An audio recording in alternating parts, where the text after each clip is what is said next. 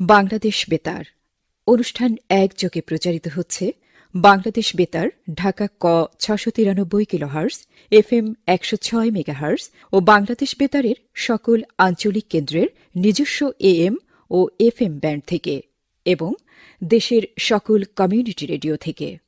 শুরু হচ্ছে সিএসএসআর প্রকল্পের আওতায় গ্লোবাল পার্টনারশিপ ফর এডুকেশনের আর্থিক সহায়তায় এবং বিশ্বব্যাংকের সহযোগিতায় ও ইউনিসেফের বাস্তবায়নে প্রাথমিক শিক্ষা অধিদপ্তর এবং মাধ্যমিক ও উচ্চশিক্ষা অধিদপ্তর কর্তৃক পরিচালিত প্রাক প্রাথমিক প্রাথমিক ও মাধ্যমিক বিদ্যালয়ের শিক্ষার্থীদের জন্য ডিজিটাল পদ্ধতিতে পাঠদান সম্প্রচার, ঘরে বসে শিখি।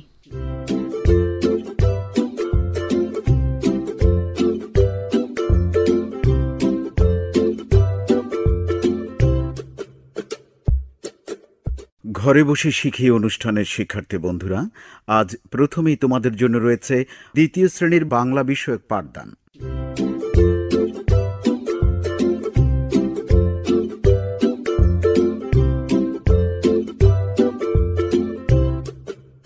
প্রিয় শিক্ষার্থীরা, বাংলাদেশ বেতার ঢাকা থেকে সম্প্রচারিত ঘরে বসে শেখে অনুষ্ঠানে আজ দ্বিতীয় শ্রেণির বাংলা বিষয়ে তোমাদের শুভেচ্ছা জানাচ্ছি।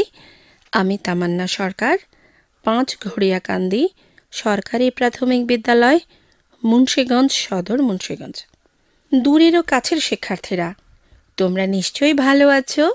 হ্যাঁ আমরা ভালো আছি। আমিও ভালো আছি। এবার তাহলে ঝটপট বই খাতা এবং কলম পেন্সিল নিয়ে তৈরি হয়ে যাও।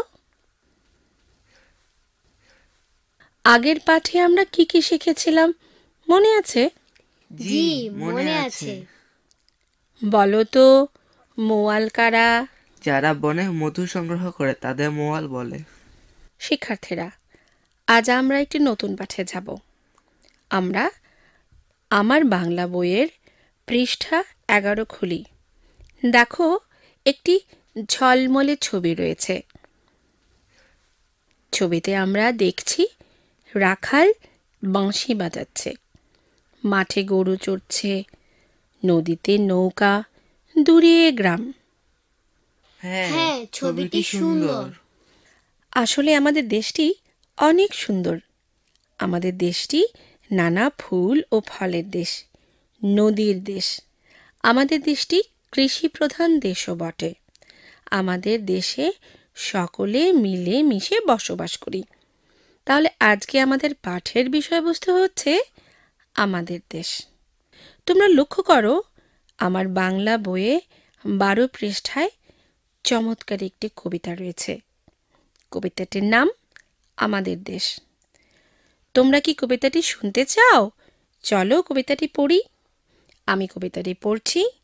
তোমরা প্রতিটি লাইনের নিচে আঙুল রেখে আমাকে অনুসরণ করবে। আমি পড়ছি। আমাদের দেশ লিখেছেন আ নম বজলুর রশিদ। আমাদের দেশ তারে কত ভালোবাসি, সবুজ ঘাসের বুকে শেফালির হাসি, মাঠে মাঠে চড়ে গরু নদী বয়ে যায়, জেলে ভাই ধরে মাছ মেঘের ছায়ায়।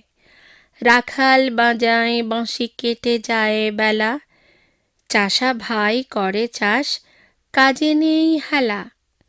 সোনার ফসল ফলে ক্ষেত ভরা ধান। সকলের মুখে হাসি গান আর গান। কবিতাটি তোমাদের কেমন লেগেছে? খুব ভালো লেগেছে। এবার আমরা আজকের পাঠের নির্ধারিত অংশ আমাদের দেশ থেকে মেঘের ছায়ায় এ পর্যন্ত পড়ছি। তোমরা আমার সাথে সাথে পড়বে। আমি পড়ছি। আমাদের দেশ তারে কত ভালোবাসি? আমাদের দেশ তারে কত ভালোবাসি? সবুজ ঘাসের বুকে শেফালির হাসি। সবুজ ঘাসের বুকে শেফালির হাসি। মাঠে মাঠে চড়ে গরু নদী বয়ে যায়। মাঠে মাঠে চড়ে গরু নদী বয়ে যায়। জেলে ভাই ধরে মাছ মেঘের ছায়ায়। জেলে ভাই ধরে মাছ মেঘের ছায়া এবার আমি আবারও ছন্দে ছন্দে পড়ছি। তোমরাও আমার সাথে সাথে পড়বে। আমি পড়ছি। আমাদের দেশ তারে কত ভালোবাসি। আমাদের দেশ তারে কত ভালোবাসি। সবুজ ঘাসের বুকে শেফালির হাসি। সবুজ ঘাসের বুকে শেফালির হাসি। মাঠে মাঠে চরে গরু নদী বয়ে যায়। মাঠে মাঠে চড়ে গরু নদী বয়ে যায়। জেলে ভাই ধরে মাছ মেঘের ছায়ায়। জেলে ভাই ধরে মাছ মেঘের ছায়া বাহ ধন্যবাদ। আজকের কবিতাংশে আমাদের দেশকে ভালোবাসার কথা বলা হয়েছে। সবুজ ঘাসের উপর শেফালি ফুল পড়ে থাকলে সুন্দর দেখায়। সে কথাটিও বলা হয়েছে। তোমরা কি খেয়াল করেছ? মাঠে মাঠে গরু চড়ার কথা বলা হয়েছে। আকাশে যখন মেঘ ছায়া দেয় তখন জেলে ভাই মাছ ধরে। আমরা কবিতাটিতে একটি নতুন শব্দ পেয়েছি। কোনটি বলো তো? শেফালি। হ্যাঁ শেফালি ঠিক বলেছ। শেফালি অর্থ হলো একটি ফুলের নাম। বলো তো শেফালি ফুল কোথায় হাসে? শেফালি ফুল সবুজ ঘাসের উপর হাসে। বাহ আমাদের দেশ কবিতাটি কে লিখেছেন? আ ন ম বজলুর রশিদ। ধন্যবাদ। আমরা আর একবার আজকের পাঠটুকু পড়ে নেই। কাছে ও দূরের প্রিয় শিক্ষার্থীরা তোমরা আমাকে অনুসরণ করো। আমি পড়ছি। আমাদের দেশ লিখেছেন আনম বজলুর রশিদ। আমাদের দেশ তারে কত ভালোবাসি? আমাদের দেশ তারে কত ভালোবাসি? সবুজ ঘাসের বুকে শেফালির হাসি। সবুজ ঘাসের বুকে শেফালির হাসি। মাঠে মাঠে চরে গরু নদী বয়ে যায়। মাঠে মাঠে চড়ে গরু নদী বয়ে যায়। জেলে ভাই ধরে মাছ মেঘের ছায়ায়। জেলে ভাই ধরে মাছ মেঘের ছায়া আচ্ছা আজকের পাঠে নির্ধারিত অংশটুকু কে পড়তে পারবে আগে বলো তো? আমি পারব। পড়ো। আমাদের দেশ লিখেছেন আ ন ম বজলুর রশিদ। আমাদের দেশ তারে কত ভালোবাসি সবুজ ঘাসের বুকে শেফালির হাসি। মাঠে মাঠে চরে গরু নদী বয়ে যায় জেলে ভাই ধরে মাছ মেঘের ছায়ায়। বাহ, অনেক ধন্যবাদ তোমাদের। প্রিয় শিক্ষার্থীরা, আমরা আজকের পাঠের ঠিক শেষ প্রান্তে চলে এসেছি। আজকে আমরা আমাদের দেশ কবিতাটি পড়েছি। এখানে আমাদের দেশকে ভালোবাসার কথা বলা হয়েছে। এদেশে শিউলি ফুল ফোটে, রাখাল বাঁশি বাজায় মেঘের ছায়ায়, জেলে মাছ ধরে। আজকের পাঠে অংশগ্রহণের জন্য তোমাদের অনেক ধন্যবাদ। আজকের পাঠের মতো আমরা প্রতিদিন পাঠে অংশগ্রহণ করব। সে পর্যন্ত তোমরা ভালো থেকো। এই প্রত্যাশায় আজকের মতো বিদায় নিচ্ছি। ধন্যবাদ। আপনাকেও ধন্যবাদ madam.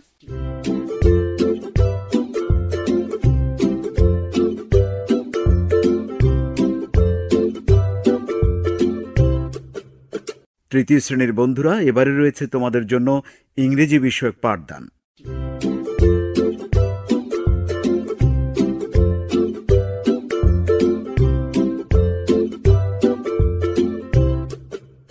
Hello, students. How are you? Hope all of you are fine and safe. সুপ্রিয় শিক্ষার্থীরা তোমরা কেমন আছো আশা করছি সবাই অনেক ভালো আছো তৃতীয় শ্রেণির শিক্ষার্থীদের জন্য আমি আজ ইংরেজি বিষয়ের একটি পাঠ নিয়ে এসেছি তোমাদের সাথে আছি আমি ফারজানা চৌধুরী স্বর্ণা সহকারী শিক্ষক নরপাটি সরকারি প্রাথমিক বিদ্যালয় Laksam Comilla I'm going to take a class for you. Are you ready? Okay, ready for our class. Please take your English for today books of class 3, pen and notebook. তাহলে আর দেরি না করে ছোট্ট বন্ধুরা তোমরা সবাই তোমাদের ইংরেজি বই এবং নোটবুক নিয়ে বসে যাও dear students do you know who am I Yes, I know. Everybody knows me. I am your English teacher, and my name is Farjana Chaudhuri. Dear students, in this class, we are going to know about a teacher. So, our today's lesson is introducing a teacher. Dear students, open your English book at page 4. চার number পৃষ্ঠায় বইয়ের উপরে নীল রঙে unit two এর পাশে introducing a teacher এবং lessons one two three লেখা আছে। আশা করছি সবাই দেখেছ। Hope all of you have open the book look at the activity এ শিক্ষার্থী বন্ধুরা, তোমরা ছবিটির দিকে লক্ষ্য করো। We can see a picture আমরা একটি ছবি দেখতে পাচ্ছি আশা করছি তোমরাও দেখতে পাচ্ছ who is in the picture Yes, this is a man. Now I will read the text. You have to listen to me and put your finger under the lines. He is an English teacher. He works in a primary school in Norail. I will read it again. You have to listen to me. This is Mahbub Alam. He is 30 years old. He is an English teacher. He works in a primary school in Norail. সুপ্রিয় শিক্ষার্থীরা তোমরা আবার মনোযোগ দিয়ে শোনো this is Mahbub Alam he is thirty years old he is an English teacher তিনি একজন ইংরেজি শিক্ষক। He works in a primary school in Narail তিনি নড়াইলের একটি প্রাথমিক বিদ্যালয়ে কাজ করেন। Dear students can you tell me what is the man's name yes he is Mahbub Alam how old is he তার বয়স কত বলো তো right he is thirty years old where does he work তিনি কোথায় কাজ করেন বলো তো yes he works in a primary school আমি আবার বলছি, তোমরা এই প্রশ্নগুলোর উত্তর দেওয়ার চেষ্টা করো। What is the man's name Yes, he is Mahbub Alam. How old is he? Right, he is 30 years old. Where does he work? He works in a primary school. Now, dear students, look at the activity B. There is a table here. Complete the table with Mahbub's information. সুপ্রিয় শিক্ষার্থী বন্ধুরা, তোমরা এবার activity B লক্ষ্য করো। এখানে আমরা একটি টেবিল দেখতে পাচ্ছি। জনাব মাহবুব আলমের তথ্য নিয়ে তোমাদের এই টেবিলটি পূরণ করতে হবে। অর্থাৎ অ্যাক্টিভিটি এ এর আলোকে মাহবুব আলমের তথ্য নিয়ে অ্যাক্টিভিটি বি পূরণ করতে হবে। সবাই নিশ্চয়ই বইয়ের দিকে দেখছ? সবাই একটু মনোযোগ দিকে খেয়াল করো। লেটস কমপ্লিট দ্য টেবল খেয়াল করে দেখো, আমাদের টেবিলটিতে চারটা তথ্য দিতে হবে। প্রথমেই দেয়া আছে name age job work base প্রথমে আমাদের নাম দিতে হবে, তারপর বয়স, তারপর চাকরি এবং তারপর তিনি কোথায় কাজ করেন? আচ্ছা বন্ধুরা, তোমাদের কি মনে আছে? নামটা কি হবে? ইয়েস, নেম হচ্ছে মাহবুব আলম। এবং বয়স কত? Yes, thirty years. বয়স হচ্ছে ত্রিশ বছর। আচ্ছা উনি কিসে চাকরি করেন? তোমাদের কি সেটা মনে আছে? Yes thank you very much আমরা জানি তিনি একজন টিচার তাহলে এখানে জবে আমরা কি লিখব? টিচার তারপর দেখো ওয়ার্ক প্লেস উনি কোথায় কাজ করেন? প্রাইমারি স্কুল ইন নড়াইল তিনি নড়াইলের একটি প্রাথমিক বিদ্যালয়ে কাজ করেন।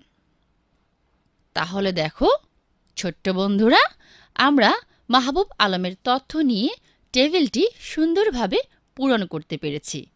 তাহলে ওনার নাম হচ্ছে Mahbub Alam.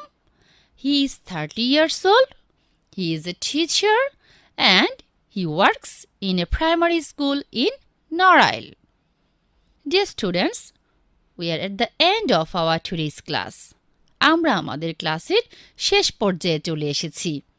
Could you tell me what we have learned from this lesson? তোমরা কি আমাকে বলতে পারো আমরা আমাদের আজকের পাঠ থেকে কি শিখেছি? Yes, we have learned how to introduce a teacher. আমরা আমাদের আজকের পাঠে একজন শিক্ষক সম্পর্কে অনেক কিছু জানতে পেরেছি। তাই না বন্ধুরা? তোমাদের অনেক অনেক ধন্যবাদ। সুপ্রিয় শিক্ষার্থীরা এতক্ষণ আমার সাথে থাকার জন্য তোমাদেরকে জানাচ্ছি অনেক অনেক ধন্যবাদ এবং আশা রাখছি তোমরা এভাবে আমাদের সাথে থাকবে। তাহলে দেখা হচ্ছে আমাদের পরবর্তী ক্লাসে। আজ এ পর্যন্তই। তোমরা ভালো থেকো সুস্থ থেকো। No more today be healthy and stay safe let's sing a goodbye song Goodbye, goodbye, it's time to go away. Goodbye, goodbye, I wish you a good day. Goodbye, goodbye, it's time to go away. Goodbye, goodbye, I wish you a good day.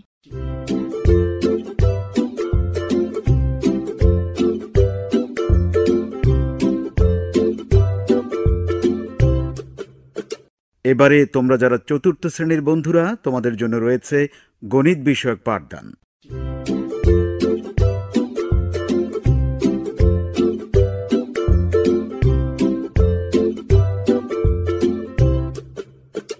সুপ্রিয় শিক্ষার্থীরা, বাংলাদেশ বেতার ঢাকা থেকে সম্প্রচারিত ঘরে বসে শিখে অনুষ্ঠানে তোমাদের অনেক অনেক প্রীতি ও শুভেচ্ছা জানাচ্ছি। আমি দিবা সাহা, সহকারী শিক্ষক, গ্যান্ডারিয়া বালিকা সরকারি প্রাথমিক বিদ্যালয়, সূত্রাপুর, ঢাকা। আজ আমার সাথে রয়েছে তোমাদের বন্ধু রেজা ও মিনা। বন্ধুরা, আশা করছি তোমরা ভালো আছো। আমরা ভালো আছি, ম্যাডাম। আপনি কেমন আছেন? আমিও ভালো আছি। শিক্ষার্থী বন্ধুরা আজকের চতুর্থ শ্রেণির প্রাথমিক গণিত ক্লাসে তোমাদের স্বাগতম। তোমরা তোমাদের প্রাথমিক গণিত পাঠ্যপুস্তক খাতা কলম ও পেন্সিল নিয়ে তৈরি হয়ে যাও। জি ম্যাডাম। ম্যাডাম আজ আমাদের চতুর্থ শ্রেণির প্রথম গণিত ক্লাস। হ্যাঁ আজ তোমাদের চতুর্থ শ্রেণির প্রথম গণিত ক্লাস। তৃতীয় শ্রেণীতে তোমরা হাজার পর্যন্ত সংখ্যা গণনা করতে বলতে ও লিখতে শিখেছ। তা কি তোমাদের মনে আছে? ম্যাডাম একটু একটু মনে আছে। আচ্ছা তাহলে বলো তো তিনশো চব্বিশ সংখ্যাটির আগে তিনের বাম পাশে যদি এক বসাই তাহলে নতুন সংখ্যাটি কি হবে? আমি আবার বলছি তিনশো চব্বিশ সংখ্যাটির আগে তিনের বাম পাশে যদি এক বসাই তাহলে নতুন সংখ্যাটি কি হবে? জি, ম্যাডাম। এক হাজার তিনশত চব্বিশ। Very good. এবার চলো আজকের পাঠ শুরু করি। আমাদের আজকের পাঠ হচ্ছে চতুর্থ শ্রেণির প্রাথমিক গণিত পাঠ্যপুস্তকের অধ্যায় এক, বড় সংখ্যা ও স্থানীয় মান, পৃষ্ঠা দুই তিন। আজ আমরা বড় সংখ্যা কীভাবে গণনা করতে, পড়তে ও লিখতে পারি তা নিয়ে আলোচনা করব। তোমরা তোমাদের প্রাথমিক গণিত পাঠ্যপুস্তকের পৃষ্ঠা দুই খোলো। সেই সাথে খাতা ও কলম খুলে নাও।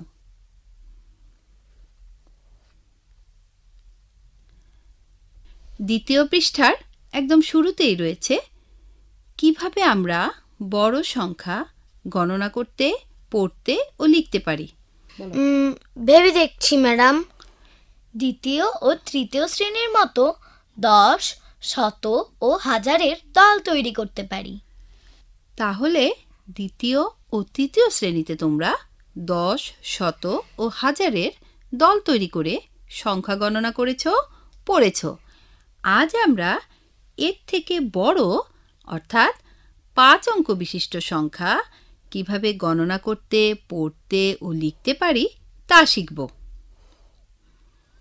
এবার পাঠ্যপুস্তকের দ্বিতীয় পৃষ্ঠার মাঝ বরাবর দেখো। কাজ এক, নিচের ছবিতে দেওয়া টিকিটগুলো ক্রিকেট ম্যাচের জন্য বিক্রি হবে।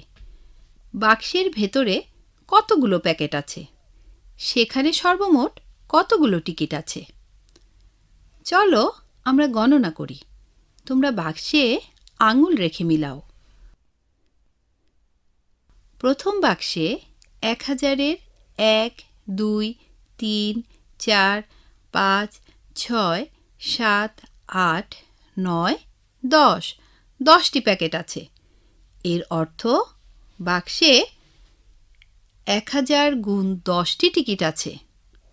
অর্থাৎ টিকিটের পরিমাণ দশ হাজার। দশ হাজার লিখতে এক লিখে তার ডান পাশে চারটি শূন্য লিখতে হয়। ছবিতে এরকম দুটি দশ হাজারের বাক্স রয়েছে। এই দুটি বাক্সে টিকিটের পরিমাণ বিশ হাজার।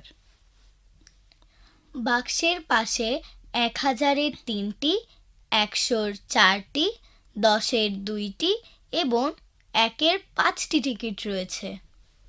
অর্থাৎ ছবিতে আরও তিন হাজার চারশো পঁচিশটি টিকিট রয়েছে। বাক্সের বিশ হাজার আর তিন হাজার চারশো পঁচিশ মিলে হয় তেইশ হাজার চারশো পঁচিশ। তাহলে মোট টিকিট সংখ্যা তেইশ হাজার চারশো পঁচিশ। এবার পৃষ্ঠা তিনে দেখো। ম্যাডাম স্থানীয় মানে একটি ছক দেখা যাচ্ছে।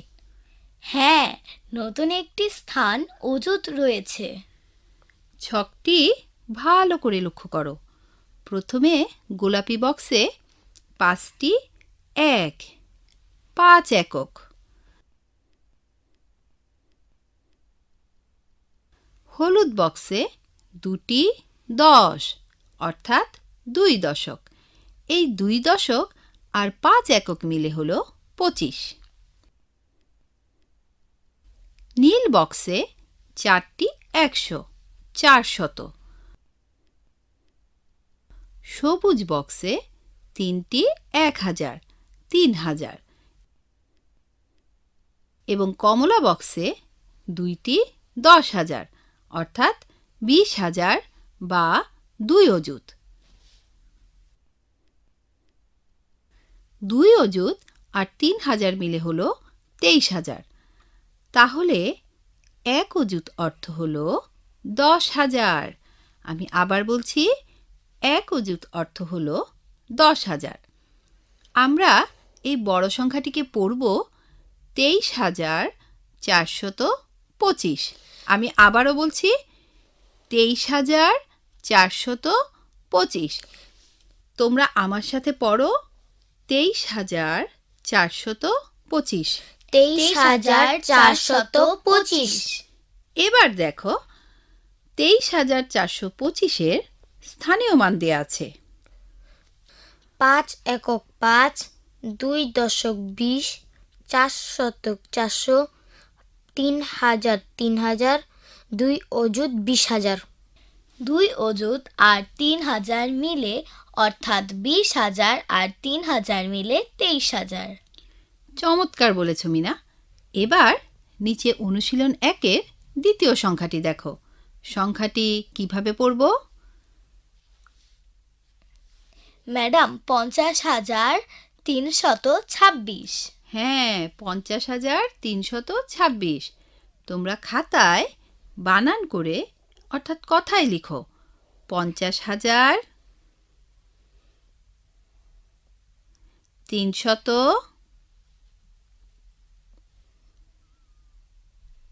ছাব্বিশ। লিখেছি ম্যাডাম। লিখেছি ম্যাডাম। ধন্যবাদ তোমাদের। স্নেহের শিক্ষার্থীরা এতক্ষণ আমরা পাঁচ অঙ্ক বিশিষ্ট বড় সংখ্যা কীভাবে গণনা করতে পড়তে ও লিখতে হয় সে সম্পর্কে শিখলাম। বলো তো এক অযুত সমান কত? ম্যাডাম দশ হাজার। সঠিক বলেছ। এবার আমি একটি সংখ্যা বলছি। তোমরা স্থানীয় মানটি বলবে। সংখ্যাটি হচ্ছে বত্রিশ হাজার চারশো একুশ। আমি আবার বলছি বত্রিশ হাজার চারশো একুশ। এক একক এক দুই দশক বিশ চার শতক চারশো দুই হাজার দুই হাজার তিন অযুত ত্রিশ হাজার ত্রিশ হাজার আর দুই হাজার মিলে বত্রিশ হাজার। তাহলে বত্রিশ হাজার চারশত একুশ। খুব ভালো মিনা ও রেজা। ধন্যবাদ তোমাদের। শিক্ষার্থীরা, আমরা পাঠের একদম শেষ প্রান্তে চলে এসেছি। এতক্ষণ আমার সাথে মনোযোগ দিয়ে পাঠে অংশগ্রহণ করায় তোমাদের অসংখ্য ধন্যবাদ। আগামী পাঠে আবারও তোমাদের সাথে কথা হবে। এই প্রত্যাশায় আমি আজ বিদায় নিচ্ছি। তোমরা সুস্থ থেকো, নিরাপদে থেকো। ধন্যবাদ সবাইকে। আপনাকেও ধন্যবাদ।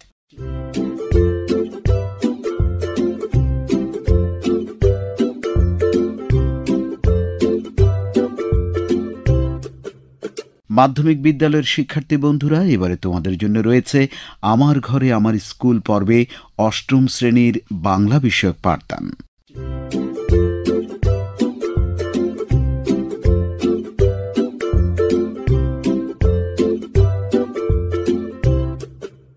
প্রিয় শিক্ষার্থী, আজকের অনুষ্ঠানে আমার সাথে তোমরা যারা আছো, সবাইকে স্বাগত জানাই অষ্টম শ্রেণির বাংলা সাহিত্য বিষয়ে।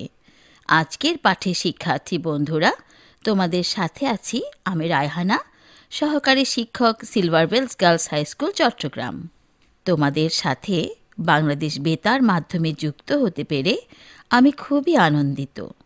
আশা করছি তোমরাও আজকের পাঠ উপভোগ করবে। তোমরা নিশ্চয়ই তোমাদের বইটি ও কলম খাতা নিয়ে প্রস্তুত রয়েছ? শিক্ষার্থী বন্ধুরা, এখন আমি তোমাদেরকে একটি অডিও ক্লিপ শোনাবো। চলো শুনি।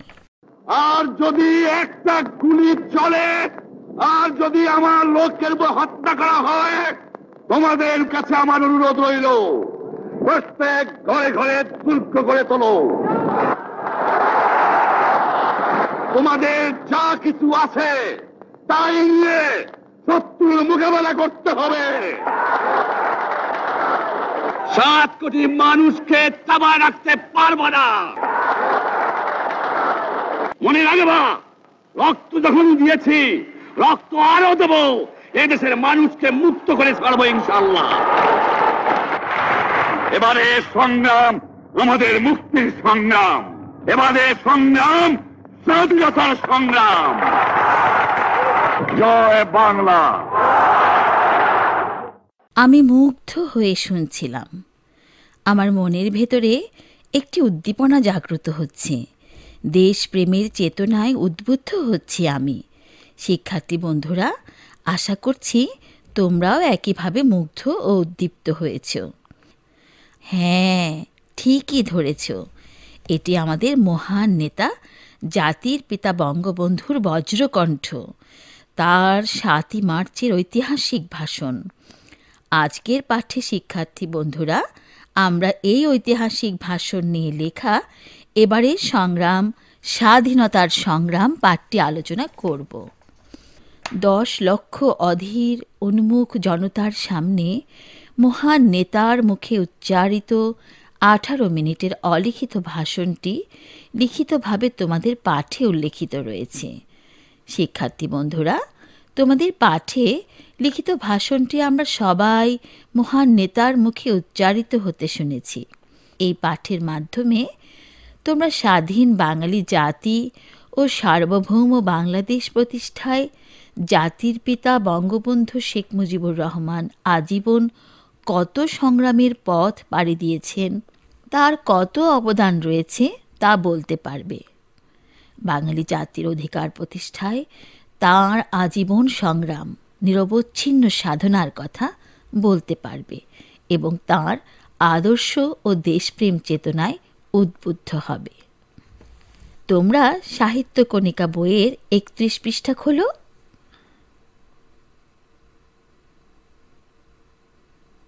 আমরা বাঙালি হিসেবে গর্ববোধ করব এ কথা জেনে যে, এই ভাষণ কেবল ইতিহাসের অংশই নয় ইউনেস্কো এ ভাষণটিকে বিশ্ব প্রামাণ্য ঐতিহ্য হিসেবে স্বীকৃতি দিয়েছে।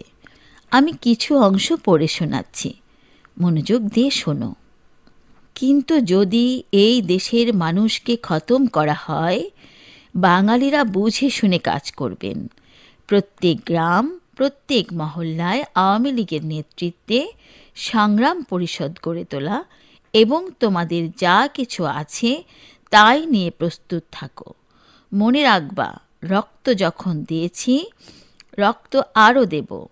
এদেশের মানুষকে মুক্ত করে ছাড়ব ইনশাল্লাহ এবারের সংগ্রাম আমাদের মুক্তির সংগ্রাম। এবারের সংগ্রাম আমাদের স্বাধীনতার সংগ্রাম। কি বলিষ্ঠ ভাষণ, তাই না? জাতির পিতা শেখ মুজিবুর রহমান ছিলেন বাংলার মানুষের বন্ধু, বাংলার মানুষের স্বপ্নের রূপকার। পাক শাসকের নিপীড়ন থেকে মুক্তির জন্য একটি যুদ্ধ ছিল অনিবার্য। এই ভাষণের মাধ্যমে তিনি বাংলাদেশের মানুষের মনে স্বাধীনতার মূল উজ্জীবন ও ভাবাবেগ তৈরি করে দিয়েছিলেন, যারই ফলাফল আমাদের মহান মুক্তিযুদ্ধ। বাঙালির ব্যাপক আন্দোলনের ফলে উনিশশো উনসত্তর সালের গণ অভ্যুত্থানের প্রেক্ষাপটে পাকিস্তানের সামরিক একনায়ক আয়ুব খান ক্ষমতাচ্যুত হলেও বাঙালির ভাগ্য ফেরে না। তারই দোসর ইয়াহিয়া সরকার ষড়যন্ত্র চালিয়েই যায়। উনিশশো সত্তর সালে নির্বাচনে জয়ী হয়ে আওয়ামী লীগ প্রমাণ করেছে বাঙালিরা স্বাধিকার চায়। কিন্তু প্রেসিডেন্ট ইয়াহিয়া কিছুতেই বাঙালিদের হাতে ক্ষমতা হস্তান্তর করেননি। বরং উনিশশো একাত্তর সালের পহেলা মার্চ পাকিস্তান জাতীয় পরিষদের প্রথম অধিবেশন ঢাকায় অনুষ্ঠিত হওয়ার কথা থাকলেও কোনো কারণ ছাড়াই তা স্থগিত করে দেন। এই ষড়যন্ত্রমূলক ঘোষণায় বাঙালিরা প্রতিবাদী বিক্ষুব্ধ হয়ে ওঠে। স্লোগানে স্লোগানে প্রকম্পিত হয় সারা দেশ। জয় বাংলা জয় বাংলা, জাগো জাগো বাঙালি, জাগো। দিশেহারা জাতিকে পথ দেখাতে জাতির হৃদয়ে লালিত স্বাধীনতার স্বপ্ন সত্য রূপ দিতে মহান নেতা বঙ্গবন্ধু শেখ মুজিবুর রহমান এই ভাষণের মধ্য দিয়ে বাঙালি জাতিকে জাগিয়ে তোলেন। নিরীহ, নিরস্ত্র জাতিকে শুধুই মনোবল দিয়ে লড়াকু হয়ে একটি প্রশিক্ষিত সশস্ত্র বাহিনীর বিরুদ্ধে যুদ্ধে নামতে উদ্বুদ্ধ করেন। এরপর নয় মাসের যুদ্ধ জয়ের ইতিহাস আমাদের সবারই জানা। আমরা আজ স্বাধীন দেশের নাগরিক। এই ভাষণ তাই স্বাধীনতার বীজ মন্ত্র। শিক্ষার্থী বন্ধুরা, ভাষণটি শুনে ও আজকের আলোচনায় কিছু কিছু শব্দ তোমরা জেনেছ, যেগুলোর অর্থ তোমাদের জানার আগ্রহ হতে পারে। যেমন গণ অভ্যুত্থান, ন্যাশনাল অ্যাসেম্বলি শাসনতন্ত্র। শব্দগুলোর অর্থসহ তোমরা খাতায় লিখে নিতে পারো। আমি অর্থসহ আবার বলছি। গণ অভ্যুত্থান। অর্থ, গণদাবিতে যখন একটি জাতির আন্দোলন জোরালো হয়। National assembly. অর্থ, জাতীয় পরিষদ। আমি আবার বলছি, ন্যাশনাল অ্যাসেম্বলি। অর্থ, জাতীয় পরিষদ। শাসনতন্ত্র। অর্থ, রাষ্ট্র পরিচালনার অনুশাসন ও বিধানসমূহকে শাসনতন্ত্র বলা হয়। আমি আবার বলছি, রাষ্ট্র পরিচালনার অনুশাসন ও বিধানসমূহকে শাসনতন্ত্র বলা হয়। একে সংবিধানও বলা হয়। তো প্রিয় শিক্ষার্থী, তোমরা আজ আমাদের মহান নেতা বঙ্গবন্ধু শেখ মুজিবুর রহমান সম্পর্কে জেনেছ, তার আদর্শ ও সংগ্রাম সম্পর্কে জেনেছ, ঐতিহাসিক সাতই মার্চের ভাষণটি শুনে সেদিনের রেসকোর্স ময়দানে উপস্থিত জনতার আবেগ ও স্বপ্নকে কিছুটা হলেও উপলব্ধি করতে পেরেছ। আশা করছি আমার সাথে আজকের পাঠে অংশ নিয়ে তোমরা উপকৃত হয়েছ। শিক্ষার্থী বন্ধুরা, এসো, আমরাও তার নিরবচ্ছিন্ন সাধনা ও দেশপ্রেমের কথা জেনে তার আদর্শে ও চেতনায় উদ্বুদ্ধ হয়ে দেশের কাজে নিজেকে নিয়োজিত করি। আশা করছি পরের বাংলা পাঠের আসরে আবার আমরা একসাথে থাকব। সবাই ভালো থাকবে, গুরুজন ও গুণীজনদের শ্রদ্ধা করবে, বাংলাদেশকে ভালোবাসবে। চলো, একটি গান গাইতে গাইতে আমরা বিদায় নিই।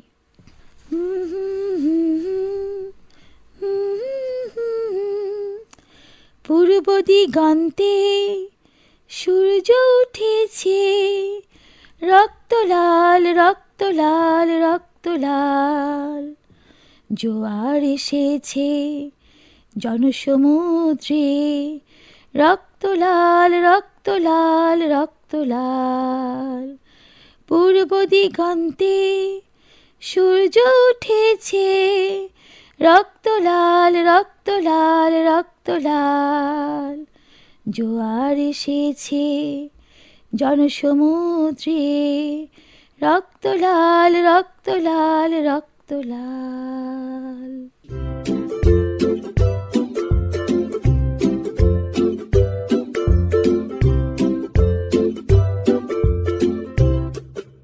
নবম ও দশম শ্রেণির বন্ধুরা, এবারে রয়েছে তোমাদের জন্য গণিত বিষয়ক পাঠদান।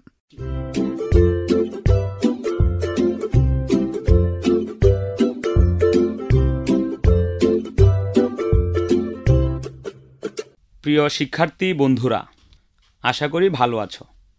নবম শ্রেণির গণিত ক্লাসে তোমাদেরকে স্বাগত জানাচ্ছি। আমি মোহাম্মদ আল আমিন, সহকারী শিক্ষক গণিত, শ্যামগঞ্জ বালিকা উচ্চ বিদ্যালয়, গৌরীপুর ময়মনসিংহ। বন্ধুরা, আজ আমি তোমাদের গণিত বইয়ের দ্বিতীয় অধ্যায়ের একটি পাঠ নিয়ে আলোচনা করব। এই মুহূর্তে আমাকে যারা শুনছ, তোমরা তোমাদের গণিত বই খাতা, কলম ও অন্যান্য প্রয়োজনীয় উপকরণ নিয়ে প্রস্তুত হয়ে যাও। বন্ধুরা, গত ক্লাসে আমরা সেট কি এবং সেট প্রকাশের পদ্ধতি নিয়ে আলোচনা করেছিলাম। নিশ্চয়ই তোমরা এই বিষয়গুলো সম্পর্কে সুস্পষ্ট ধারণা লাভ করেছ। এখন তোমাদের মনে প্রশ্ন জাগতে পারে, সেট প্রকাশের পদ্ধতির মতো সেটের কি কোনো প্রকারভেদ আছে কি না? হ্যাঁ। বাস্তবিক পক্ষে বিভিন্ন প্রকারের সেট রয়েছে। তাহলে চলো আজকে আমরা সেটের প্রকারভেদ নিয়ে আলোচনা করি। আজকের ক্লাস শেষে তোমরা বিভিন্ন প্রকার সেট উদাহরণ সহ উল্লেখ করতে পারবে। সেটের সংযোগ ও ছেদ ব্যাখ্যা এবং যাচাই করতে পারবে। বন্ধুরা এ পৃথিবীতে বিভিন্ন প্রকার বস্তুতে বিভিন্ন প্রকারের সেট রয়েছে। যেমন সসীম সেট অসীম সেট ফাঁকা সেট উপসেট সার্বিক সেট পূরক সেট সংযোগ সেট ছেদ সেট নিশ্ছেদ সেট শক্তি সেট ইত্যাদি। চলো আজকের ক্লাসে আমরা সসীম সেট অসীম সেট ও ফাঁকা সেট সম্পর্কে বিস্তারিত জানি। তোমরা তোমাদের বইয়ের তেইশ পৃষ্ঠা দেখো।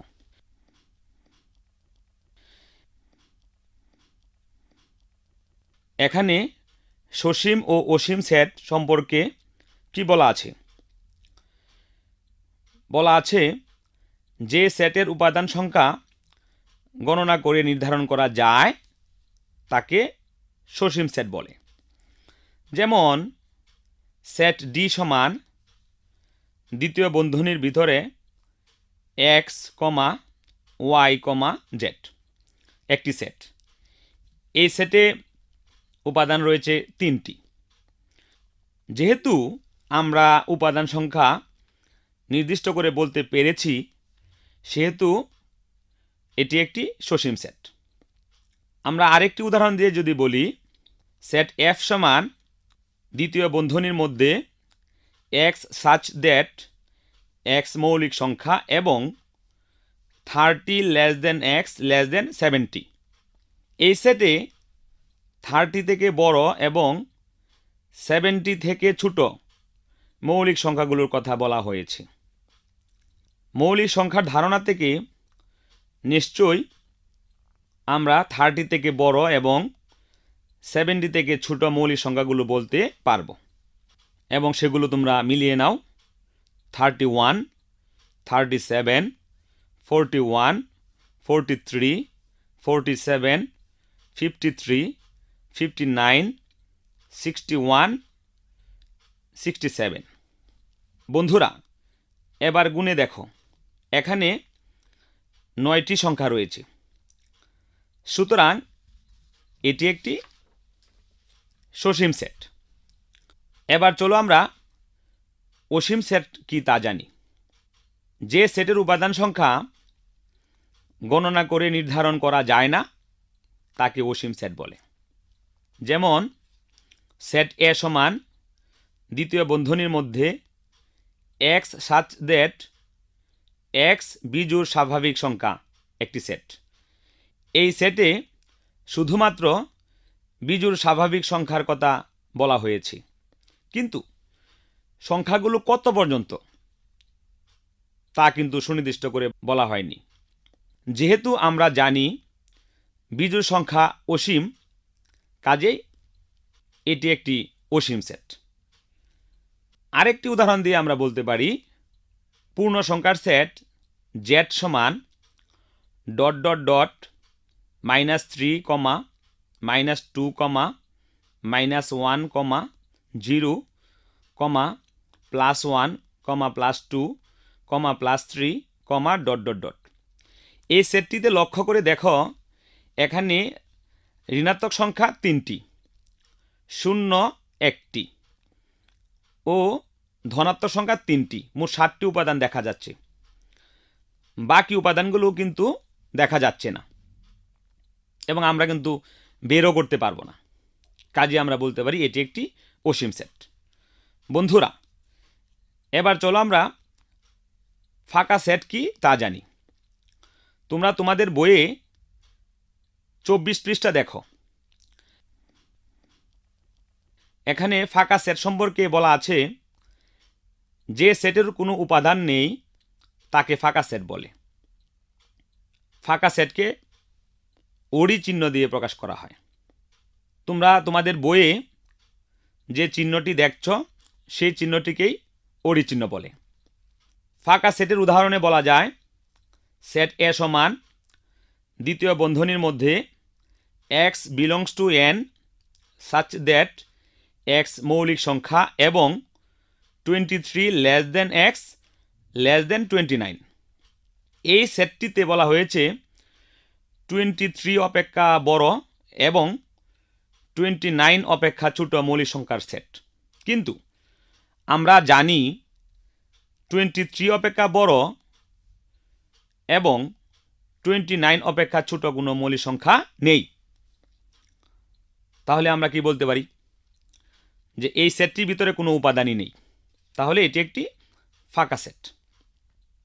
তাহলে আজকের পর থেকে নিশ্চয়ই তোমরা সসীম সেট, অসীম সেট ও ফাঁকা সেট সম্পর্কে ব্যাখ্যা করতে পারবে।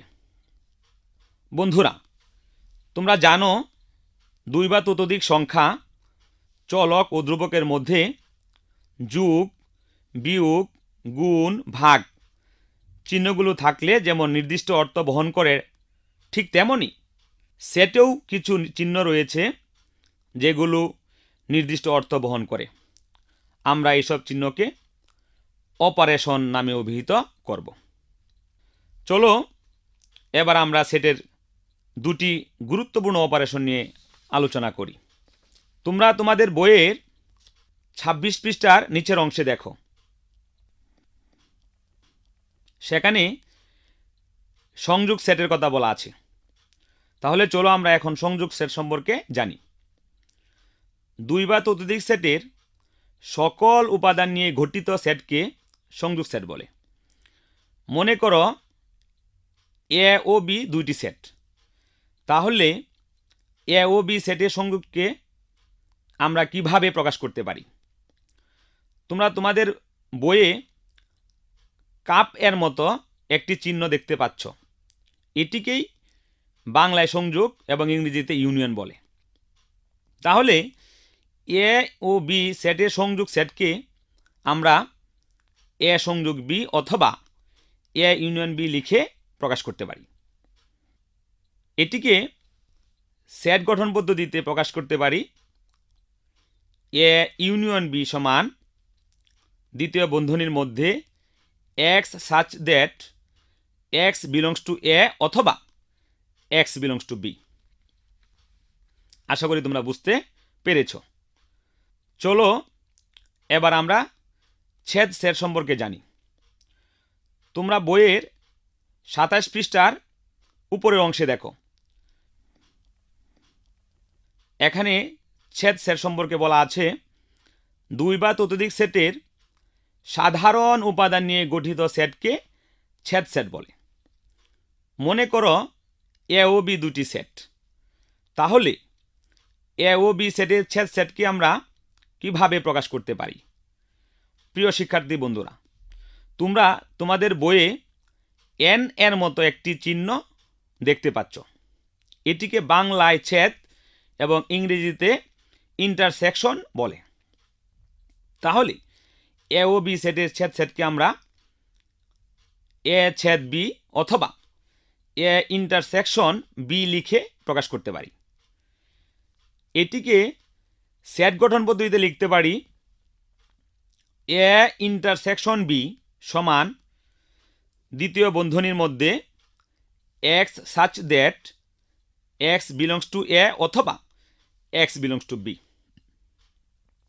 প্রিয় শিক্ষার্থী বন্ধুরা, এখন থেকে নিশ্চয়ই তোমরা সংযোগ সেট ও ছেদ সেট সম্পর্কে ব্যাখ্যা করতে পারবে। আজকের পাঠে মনোযোগ সহকারী অংশগ্রহণের জন্য তোমাদের অনেক ধন্যবাদ। আশা করছি আগামী পাঠে আবারও তোমাদের সাথে কথা হবে। সবাই সুস্থ থেকো, ভালো থেকো, নিরাপদে থেকো।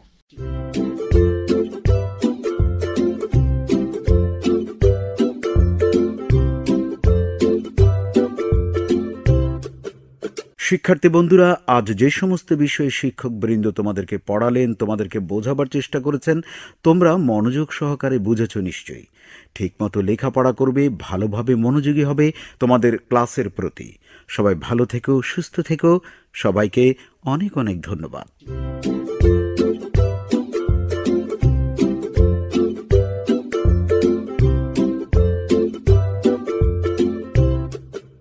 এতক্ষণ প্রচারিত হল সিএসএসআর প্রকল্পের আওতায় গ্লোবাল পার্টনারশিপ ফর এডুকেশনের আর্থিক সহায়তায় এবং বিশ্বব্যাংকের সহযোগিতায় ও ইউনিসেফের বাস্তবায়নে প্রাথমিক শিক্ষা অধিদপ্তর এবং মাধ্যমিক ও উচ্চশিক্ষা অধিদপ্তর কর্তৃক পরিচালিত প্রাক প্রাথমিক প্রাথমিক ও মাধ্যমিক বিদ্যালয়ের শিক্ষার্থীদের জন্য ডিজিটাল পদ্ধতিতে পাঠদান সম্প্রচার, ঘরে বসে শিখি। অনুষ্ঠান সঞ্চালনায় শামীম আহমেদ, সম্পাদনায় মোহাম্মদ ওয়াকিবুর রহমান, সার্বিক নির্দেশনায় মোহাম্মদ নাসিমুল কামাল, তত্ত্বাবধানে মোহাম্মদ মনির হোসেন এবং ঘরে বসে শিখি। অনুষ্ঠানটি প্রযোজনা করলেন মোহাম্মদ রাসেল শেখ।